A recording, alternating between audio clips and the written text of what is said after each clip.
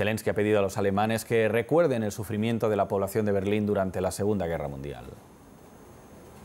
Una sesión que pasará a la historia no por las grandes palabras, sino porque el presidente ucraniano Zelensky ha puesto a Alemania ante el espejo, frente a su propia responsabilidad.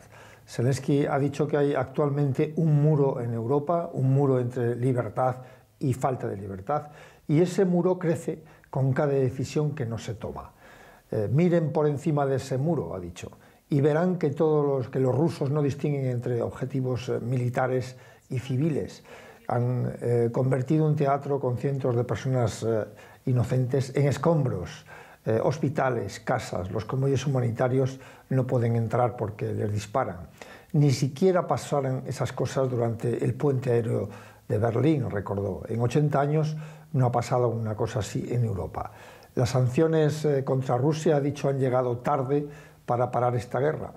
Zelensky recordó que durante años Alemania ha ignorado sus advertencias porque cada vez que advertía que el Nord Stream 2, el gasoducto, era un arma para preparar la guerra, se le contestaba que era simplemente cuestión de economía, economía, economía, cuando está claro que era un asunto político.